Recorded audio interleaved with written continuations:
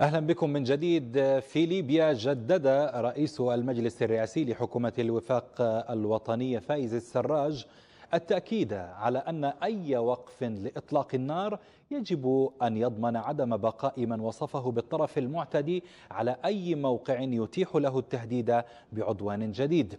جاء ذلك في لقاء جمع السراج بوزير الدفاع الإيطالي لورينزو غويريني الذي زار العاصمة طرابلس أمس الأربعاء. والتقى خلال الزيارة كذلك وكيل وزارة الدفاع صلاح النمروش. وأكد الطرفان في اللقاء على الضرورة القصوى لعودة إنتاج النفط تحت إشراف المؤسسة الوطنية الليبية وسعي جميع الأطراف لحل الأزمة الليبية سلميا. وفي ذات السياق يزور وزير الخارجية التركية مولود شاويش أوغلو اليوم الخميس طرابلس ومن المقرر أن يلتقي كبار المسؤولين في حكومة الوفاق. ولمناقشة تطورات الأزمة الليبية والدعوات الدولية والأوروبية أيضا بالخصوص لحلول سياسية للصراع القائم وكذلك لمناقشة المساعي الأوروبية. دعونا مشاهدينا نرحب بضيفنا هنا في الاستديو الكاتب والمحلل السياسي المهدي كشبور. سيد المهدي أهلا فيك معنا.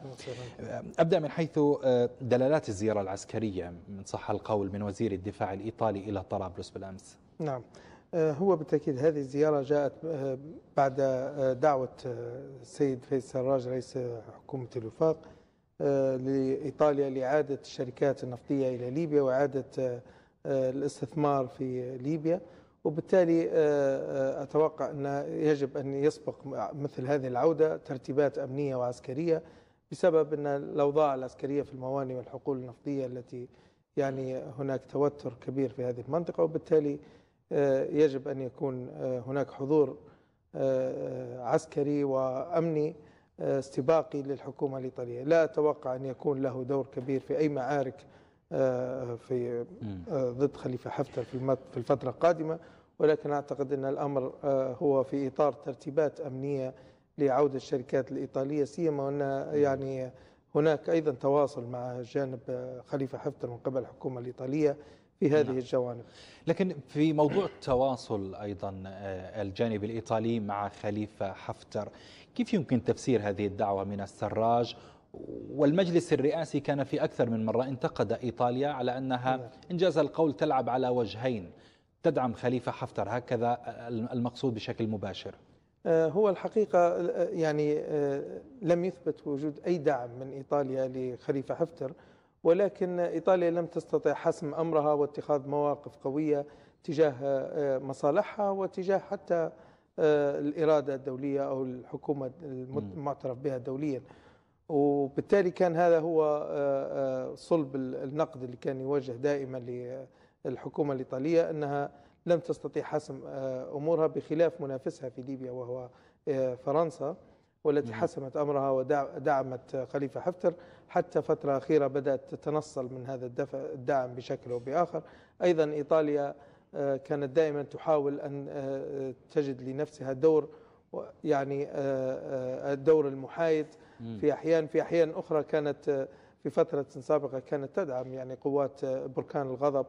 أو ولكن قوات البنيان المرصوص البنيان المرصوص تحديدا. لوجستيا كان آه نعم وليس في فترة سابقة ولكن بعد بركان الغضب شبه توقف هذا الدعم الا بعض يعني العمليات الطبية ومساله العلاج وما إلى ذلك. وخفر السواحل أيضا من جهة ثانية. آه هذا من من باب هذا موضوع له فيه فائدة أصلا ايطاليا نعم, نعم. هذا من باب تأمين نفسها من الهجرة غير شرعية وبالتالي هي تدافع عن نفسها من هذا الباب ولا تدافع طيب عن هو السراج يعني كان قد أكد لوزير الدفاع الإيطالي ضرورة العودة إلى الحل السياسي في ليبيا وأنه لا حل في ليبيا إلا الحل السياسي. وهذا المسار أيضا يتحدث فيه الجميع يعني حتى مصر تقول أنه لابد من حل سياسي. الإمارات تقول نفس الشيء. فرنسا السراج الأمم المتحدة حتى والأتراك أيضا يتحدثون في ذات الاتجاه. لكن ما هي حظوظ الحل السياسي في ليبيا؟ شوف خلينا نكون صرحاء لا أتوقع أن كل هذه الدعوات هي دعوات حقيقية لإيجاد حل سياسي. الكل يعلم أنه لن يكون هناك حل سياسي خليفة حفتر أحد أطرافه. وبالتالي يعني وكأننا نضيع الوقت يعني. هل معنى ذلك أن كل طرف يرى الحل السياسي بناء على وجهة نظري أو مستقبل ما لا يريد أن يظهر هو المحرض على الحرب وبالتالي هو يعلن تأييد الحل السياسي.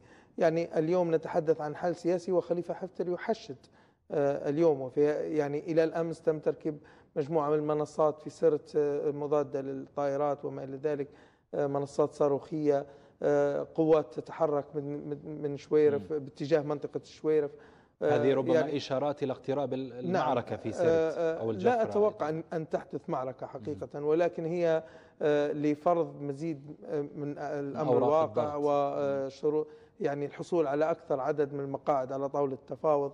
إذا ما حدث التفاوض خليفة حفتر يعلم أنه يعني سياسيا انتهى بعد هزيمته في ترهونة. هناك بعض المؤشرات أو بعض المعلومات الاستخباراتية أو التي كانت استخباراتية بأن خليفة حفتر يسعى إلى إعادة ترهونة آه، لتحقيق نوع من النصر يعني الإعلامي ورفع معنويات.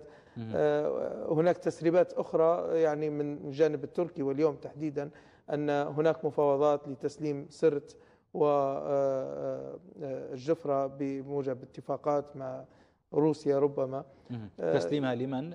تسليمها لقوات الوفاق وهذا تحدثنا فيه في هذا الاستوديو من فترة من تقريبا من شهر أن هناك تسريبات أن أن يتم تسليم هاتين المنطقتين لقوات أمنية وليست عسكرية تدخل آه، قوات آه، آه، الأمنية التابعة لحكومة الوفاق. قوة فتح بشاغة مثل وزارة الداخلية ممثلة في وزارة الداخلية أن تدخل لتأمين هاتين المنطقتين بالنسبة للحقول والموانئ النفطية يتم إيجاد آلية لتأمينها عبر حرس المنشآت نعم. النفطية وخروج القوات طيب. وصول مولود شويش أوغلو وزير الخارجية التركي اليوم إلى طرابلس نعم. أيضا وعلى الجدول الأعمال سيلتقي المشري ثم سيلتقي السيد السراج. نعم. هل المسألة متعلقة بالسرت والجفرة فقط أم أن هنالك ما قد يطرح أيضا غير ذلك؟ آه شوف إذا آه، بنتكلم على الجانب التركي ومصالحه هو بالتأكيد لن يتوقف آه عند آه سرت والجفرة باعتبار أن الاتفاقية التي تم توقيعها تمتد مع منطقة درنا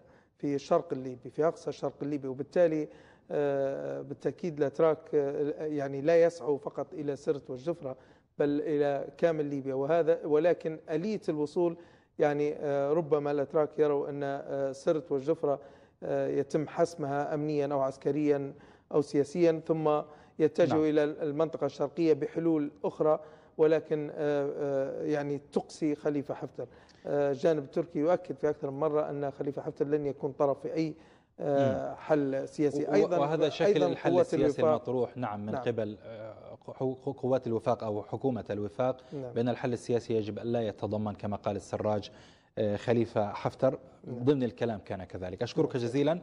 المهدي كشبور الكاتب والمحلل السياسي على حضورك معنا